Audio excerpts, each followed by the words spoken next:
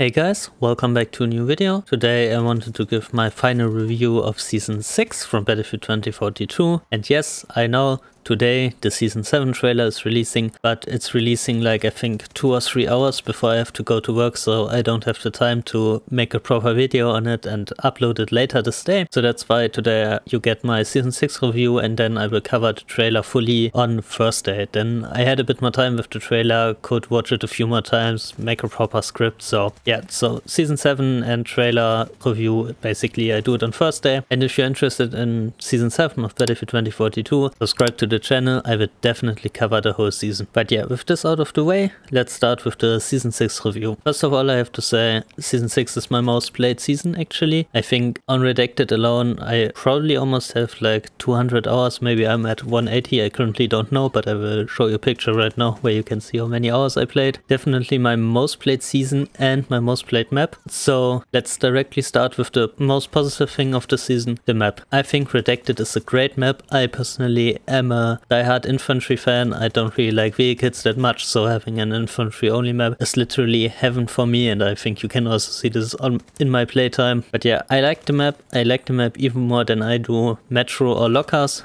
What might be blasphemy for some old school Battlefield players, but even though I played a shit ton of Metro back in Battlefield 3 and in Battlefield 4 when it released as DLC, while also playing a shit ton of Lockers in Battlefield 4, I still think Redacted is the best infantry map out of these three maps, and it's definitely the best map in Battlefield 2042. You have enough flanking opportunities, it's not as crowded as Metro, I also think like there aren't as many stalemates as you had back in Metro, where with the escalators and the stairs basically in the middle of the map, you really couldn't flank or do anything while on Redacted, I have the feeling. You can generally flank really good, come from behind, and overall I just think Redacted is a great map, but that's also almost the only thing that was good this season. I might throw in the Battle Pass here, I bought it naturally since I had enough coins and I played enough to fully completed. And I think the Battle Pass skins, they looked good, but they are nothing out of the ordinary or something super excited, even though I like the tier 100 Paik skin. It's basically the only Paik skin I'm running when I run Paik, but yeah, Battle Pass was good, but nothing special. Now let's talk about the bad things of this season. And the first thing that comes to mind is how hard DICE fumbled the player increase they got with the season. If I'm not mistaken,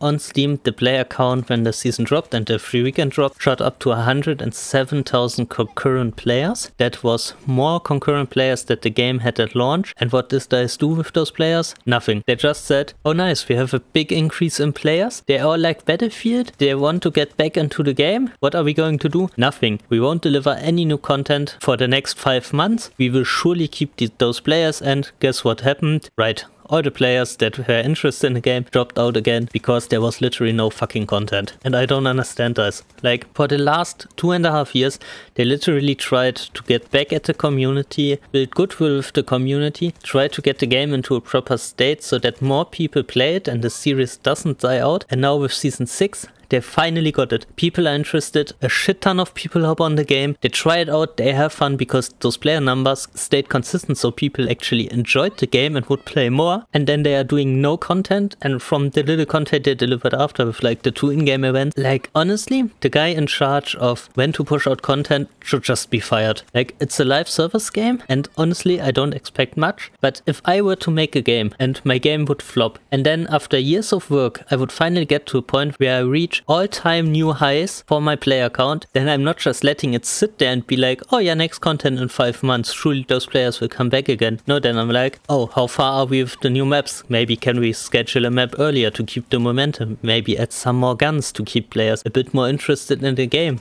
even if it's only keeping their interest for like a month more or maybe two months. But this would be at least something, but they completely fumbled back there. And honestly, I think we still get a lot of players back with Season 7, but it probably won't be the same amount of players we had gotten if they just added more content to Season 6. But well, that was their decision. Now they have to live with it. Another thing I have to sadly put on the bad side are the weapons this season. For some reason, this time around, the weapons felt very oppressive and very strong. And yes, I enjoyed those guns. I had fun while it lasted. I was pretty quick to tier 1 actually, both the VHX and uh, G428 because I just knew instantly when I played the first time how OP these guns were and that they were getting nerfed. And for the G428, I think they nerfed it relatively quick. But with the VHX, honestly, it took them like, I think it took them like four months, if I'm not mistaken, or three months just to fix the gun and make it in proper state. And if you play the game now, like the gun now is still really good really usable. It's just not super oppressive and OP.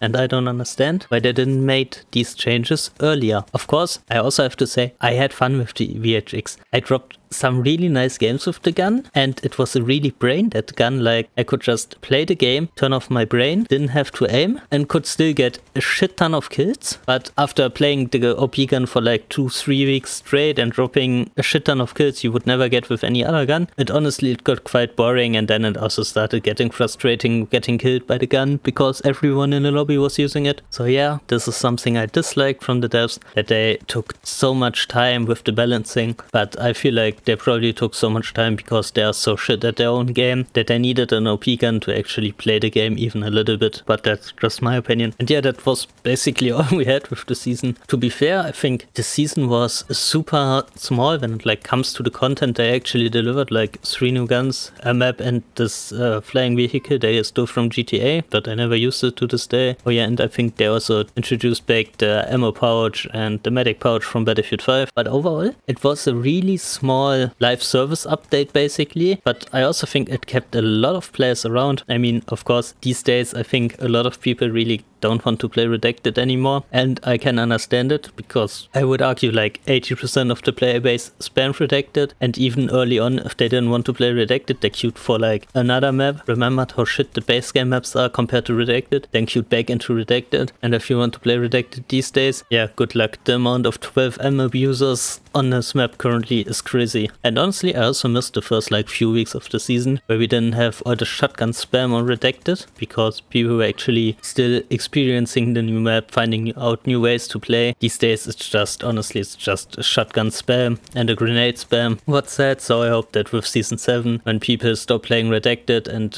go play the other maps again and, and we come back to Redacted by it either being a 24-7 map again later into the season or just randomly getting this getting the map when queuing for normal conquest. I hope the map starts playing a bit better again and people don't instantly default to the 12M because they can't hit their shots otherwise. But yeah, overall, I think it was a really nice season, but, but the season got so heavily carried by the map and also by having the OP guns because I actually think a lot of people continued playing the season because they noticed that the guns are so OP and it was so much easier to get good games and get a lot of kills. And so they thought now they need to use the chance they have to get a better KD on average and more kills per game before all the guns get nerfed. And I think those two things, good map, OP guns contributed to the higher amount of players. But yeah, now as everybody else, I'm also ready for season 7. so honestly, I will remember season 6 as probably the best Battlefield 2042 season. Not only because of the map, but also because that's basically the season I started my YouTube channel on. So depending on how far we are going with this YouTube channel. I think I will remember this season very fondly and even though it was, I think, by no accounts, if you look at it objectively, we didn't get a whole lot and was probably not even worth calling it a season. The season felt probably for a lot of people more like a mid-season update you get in CoD because in CoD with a mid-season update, I think mid-season 2 update just launched. They got like one new map and I think two new guns or one new gun so they on Call of Duty almost got the same content we got in Battlefield for like five months. I really liked the season. Personally,